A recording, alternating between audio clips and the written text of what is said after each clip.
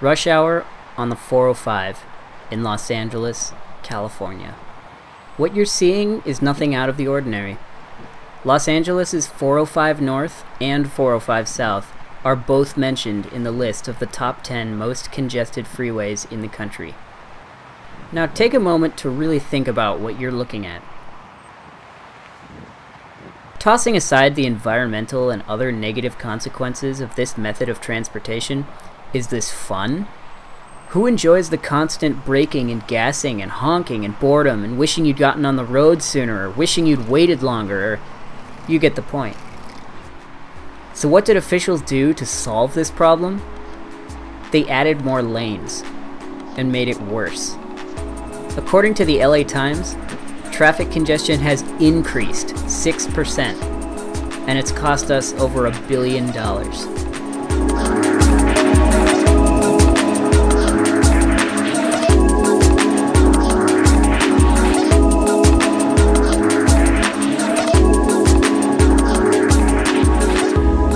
Everyone knows Los Angeles' public transportation needs work, but in order for us to figure that out, we decided to travel from our suburb to Los Angeles. The first obstacle, we had no idea where to go. Living in a suburb, there are bus stations nearby, but nobody really knows where they go and where to travel to next. Luckily, we had Google Maps. When we got on the bus, there were probably two people, even though the bus could hold 60 it was kind of discouraging to see how little people were actually taking the bus. It was even more discouraging to see that the routes were actually starting to be combined. After about an hour of traveling, we had traveled 17 miles. After another hour, it was time for our second transfer, the subway. We had no idea what to expect. Would it be empty? Unfortunately, it was empty. While people were above ground, wishing they could get home faster, there was nobody on the subway. After three hours of taking the bus, to taking another bus, to taking the subway, we had traveled 37 miles. Even in LA's worst possible traffic, it shouldn't take you three hours to travel 37 miles. And that's where the problem arises. No matter how bad traffic gets or how high gas prices get, people in Los Angeles will have no better alternative than taking their cars. It seems almost ridiculous that a majority of people still haven't noticed that with many people traveling to the same location, mass transportation would be a much better solution. Even when it's shown again and again that other methods are faster, safer, and healthier, people still choose cars as their method of transportation simply because there's no alternative. Well, I'm Joe Galliani, and I'm currently the organizer of the South Bay 350 Climate Action Group, and uh, I've been working full time in the environmental community and field since about 2007. Well, I've lived in the Los Angeles area now since 1976, so I have seen the era of zero public transportation, and I've seen the evolution of a burgeoning public transportation here in Los Angeles. If you're a bus rider, uh, you can get pretty much anywhere, but it might take you several more hours than it would take you to drive or if you were to be able to take a subway or a light rail car. So Los Angeles has a long way to go, but for those of us that have been here long enough, it's come a long way. I, I'm here now at the Redondo Beach uh, Green Line station, and I can take a train from here uh, to the Blue Line station and transfer and take that train to anywhere I want to go in downtown Los Angeles. So I can take a train now to go to a Laker game from my house in Redondo Beach. Of course, it takes me 25 minutes to drive to the station and another hour to get to the game, but that's, that's the growth pains of LA public transportation.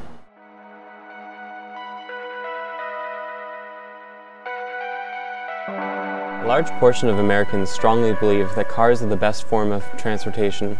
Paying 40 plus dollars to fill up their tank, sit in traffic, waste time, None of this seems weird to them. They fail to see the consequences of this mentality. In 2012, about 31,000 crashes occurred every day, causing an average of 92 deaths per day. That's a total of 32,750 deaths per year. And that doesn't include all the people who lived through these accidents only to become physically disabled for the rest of their lives. For those of us who are lucky enough to avoid accidents on the road, no one is safe from the stress and inactivity that occurs during commutes to work, school, friends' houses, events, etc. This is causing severe health problems and in turn driving up our healthcare costs. According to a government public health site, obesity has emerged as a major driving force of healthcare costs. In 2006, the economic burden of obesity in the county was estimated at 6 billion, including 3.6 billion in healthcare costs and 2.4 billion in costs due to lost productivity. Why is our obesity rate so high? It's largely because there's too much sitting going on.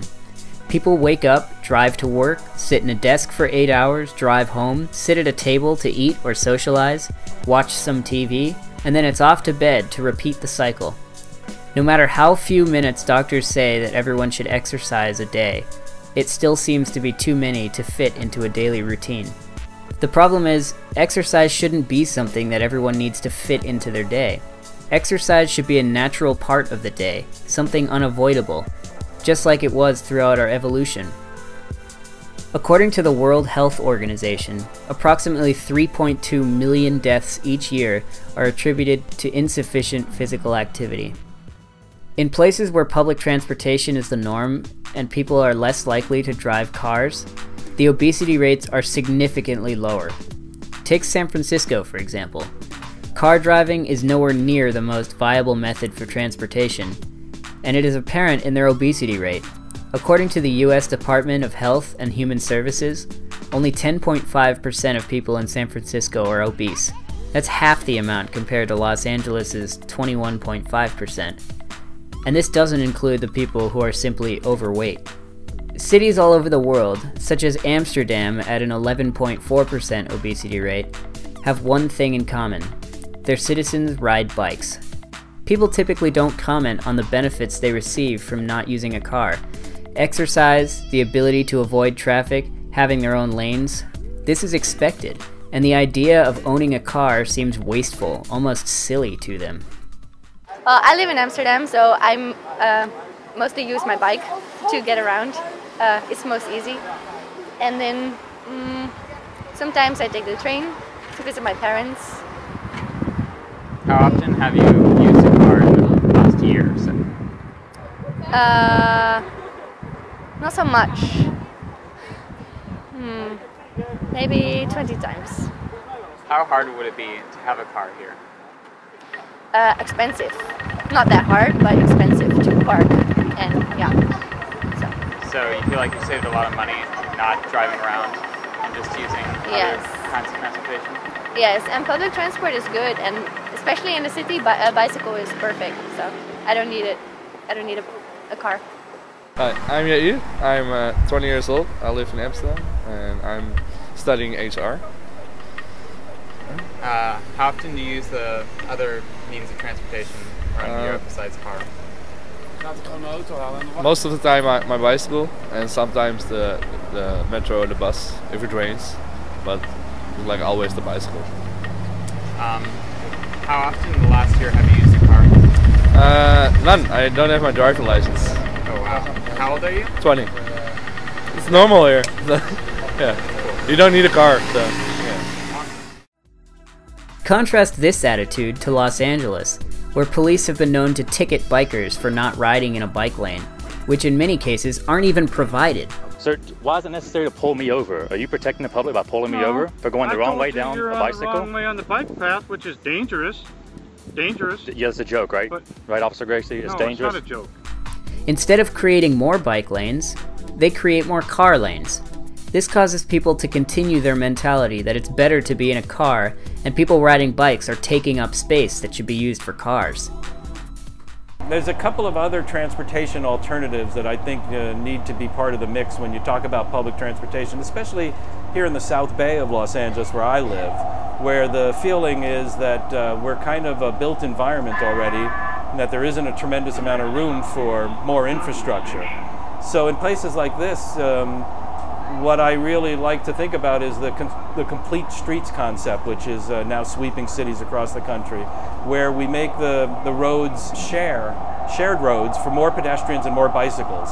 Uh, we live in about the most perfect climate there is in the country uh, to bicycle. And if we had a really great bicycle system of interconnected routes where you could get to point A and, and point B on a protected bicycle route where you didn't think you were taking your life in your hands going on the roads here, um, that would go a long way. That's zero emission transportation, relatively low cost, and it would at the same time work on our nation's obesity and diabetes epidemic. So it's a win win win.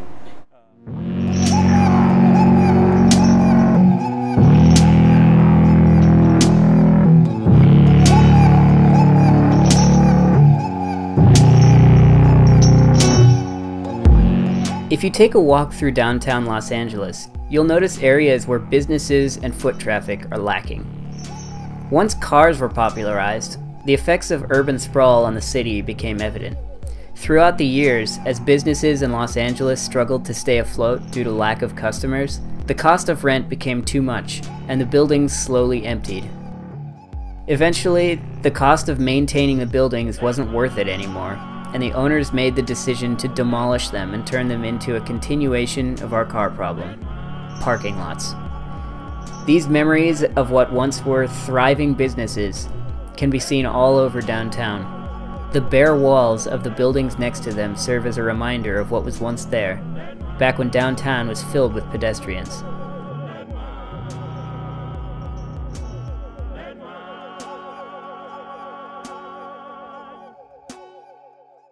Although downtown LA does have a decent amount of walking traffic, it pales in comparison to other big cities.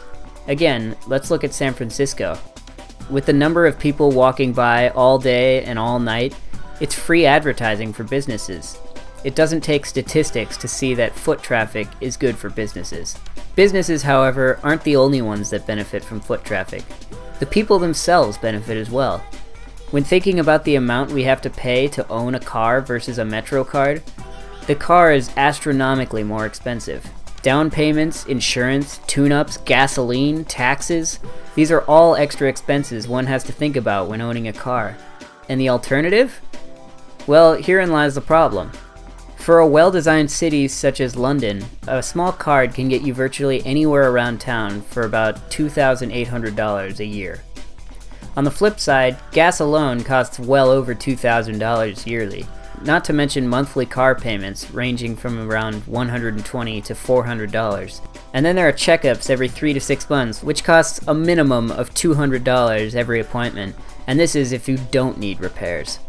In other words, the cost of a car is more than twice as much as if one were to have a yearly pass. Say, hi, Matteo, I'm from Rome, and I'm a mechanical engineering student. In my life is really important public transportation because with metro I can reach all points of Rome in really less time than buses or trams. Do you have a car? No, I don't have a car in Rome. Why? Why it's so expensive and I don't need substantially a car because of the high traffic in Rome. You can drive very easily a car in Rome and you can park it everywhere. And obviously, if you have to go in the school with your car, you have to wait maybe half an hour to find a find a place you can park your car.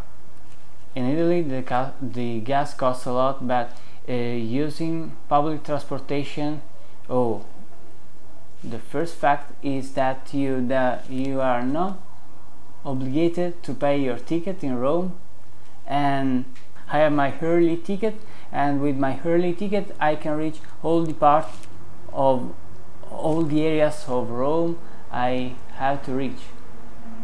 How much does the yearly ticket cost? 250 for a year. Yeah, it's not so much. How much does gas cost? Uh, maybe two two euros for a liter.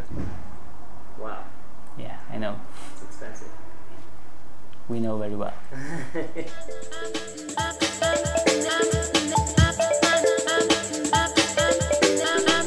public transportation is one of the absolute keys to solving the climate crisis that we're currently in. Where we stand today, we're at 400 parts per million of CO2 in terms of the atmosphere. We have a carbon budget that's quickly dwindling. There are some scientists that say in a worst case scenario, we have 11 years before we reach uh, our carbon budget and get us to two degrees of global warming, which every scientist has agreed is the, the danger zone from which we will not recover. So when you understand that automotive uh, transportation and transportation overall is such a huge percentage of our greenhouse gases and the emissions that we emit, um, you can see that that's one sector where we can really make a difference. If we can get people out of ICE, out of internal combustion engine cars, and into public transportation, especially when it's electrified uh, transportation, uh, we're doing a, a, huge job and in terms of being able to reduce our emissions and being able to reduce our greenhouse gases. And frankly, you know, with the clock ticking, uh, it can't come soon enough. During World War II, Los Angeles' smog was strong enough that some people suspected a Japanese chemical attack. Many doctors believed that the gaseous chemicals would lead to lung cancer and other diseases. It wasn't until 1975 that the US required new cars to have catalytic converters, a device that converts toxic pollutants in exhaust gas to less harmful substances. Although car emissions are not as harmful as they used to be, the process of extracting and producing oil is just as environmentally unfriendly, and it's beginning to exponentially increase in price. Many countries have already started dealing with peak oil, and yet we still continue to fill up our tanks bi-weekly. With a good public transportation system, these problems are virtually non-existent in comparison. As we all know from San Francisco's electric bus system, we don't need oil to drive buses around LA. Furthermore, all subways use this very same system and run entirely on electricity. With this knowledge, cities should know not to spend money on freeway expansion and instead use it for a more desirable public transportation system. Well, of course, you know, when it comes to great models of best practices, you just have to look a little further north at the Bay Area. And whether it's BART uh, throughout San Francisco and uh, out on into Oakland, it's the what what you might call the all of the above mix of public transportation. It's buses where that makes sense. It's uh, light rail where that makes sense. It's heavier rail in other areas where that should prevail. Um, and it's back to the future with the cable cars. I mean, how many cities across this country would love to have a system, even as old as it is, like San Francisco's famed cable cars to get around? Um, you know, I'd never think about renting a car when I fly to the Bay Area, and I'll go anywhere from Berkeley to Oakland uh, to Tiburon to Sausalito, and I don't need any any individual car, I can take a wide variety of public transportation. And you know, we're envious down here to be to be honest with you. And it's um, it's that way in so many other major cities across the country. It's kind of embarrassing uh, to live in Los Angeles and not be able to tell somebody that when they fly into LAX, they can get right on the train and go wherever they want to go because they can't.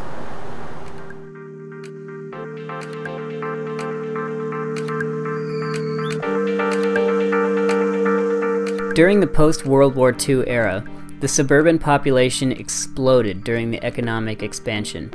Returning war veterans who wished to start a settled life moved in masses to live a simple life in the suburbs. Car ownership rose exponentially, and wider roads were built to compensate them. Soon enough, every middle-class citizen owned a car and had switched from trains and trolleys to the automobile. Those who couldn't afford a house and a car were considered lower class citizens. They got around using public transportation, and eventually, this public transportation became associated with being poor. Through the evolution of cars, more and more lower class citizens have begun to take the bus around these suburbs as the price of cars and gasoline continue to rise. On the other side of the social spectrum, the high class citizens have continued to buy cars this has caused the idea of public transportation in Los Angeles to become something that upper class citizens don't want to lower themselves to. A bigger problem with most American suburbs is that they're scattered and don't connect with major cities. As a result, people need cars to get to them, and once inside, still need cars to get around. Any hope of being able to walk anywhere at an efficient pace is lost. But surely this is not always the case. Just outside the city of Berlin lies a quiet suburb that can be compared to one in California, except for one difference. This suburb was connected directly to the S-Bahn, one of Berlin's subway systems, which allows all Berliners the opportunity to work in the city but still be able to live in a quiet suburb. This becomes effective for all parties, as there's no traffic. People can still live outside a city and pay a small amount to ride every day, saving money for other activities. Going back and restructuring Los Angeles suburbs is not a reasonable idea, but there are ways to push us back in the right direction. By raising awareness of these problems and showing people that public transportation is not just for low class citizens, we can get enough people on board to speed up construction of Los Angeles busways, subways, and trains, and hopefully get them to run close enough to the suburbs to make a train a more viable option than driving. The idea of social advantages in public transportation is an interesting concept when it comes to Los Angeles because we are known as a community that doesn't mingle. Um, New York, and I just read uh, a piece on this in the Los Angeles Times recently. New York really prides itself on the fact that the, the subway is the great equalizer, that it's, uh, that it's where democracy comes to life because you have captains of industry rubbing shoulders with housekeepers, and that no matter who you are and what your status is in life, um, it all comes together in public transportation. And that may be so, but um, you know, another idea about that is it may be so when it comes to transportation, but then those people go to very different worlds. They don't eat in the same restaurants, they don't go to the same bars, they don't socialize at the same level. So if it were really an equalizer, it might go beyond the transportation. But there's no doubt that we live in, in a, an enclosed society here, that we're completely siloed in Los Angeles when it comes to transportation because we're in our individual cars. So few of us even carpool. Um, and we don't ever talk to anybody else and we don't engage with other people and it's very easy for us to lead these quiet lives of desperation encased in our in our metal cylinders as we go down the road and uh, I think the, the greatest amount of social interaction we have under our current circumstances to give each other the finger uh, when we cut each other off or, or, or make a turn without using our signal light. So it would be fantastic to get people in Los Angeles on the same subway cars, talking to one another and interacting and living together. Besides social structure, cars inadvertently don't allow you to be physically social with the outside world. You can't text, you can't call, you can't do anything but sit in your secluded box and think about all the time you're wasting. So again, why would anyone choose this over the alternative? Even when traveling alone, Public transportation never fails to provide entertainment for everyone on board. Well, clearly, when it comes to the gold standard of public transportation, it's Europe. Um, and it's not just one place, it's, it's bullet trains and high speed rail in places like Japan or even China. Um, it's, if you want to take a look at a great, great model, it's Amsterdam, where that is a city run by bicycles. And that makes so much sense for them. Um, and it works, and it's worked for a long, long time. And cars are, I would dare say, a second class citizen when it comes to a place like Amsterdam.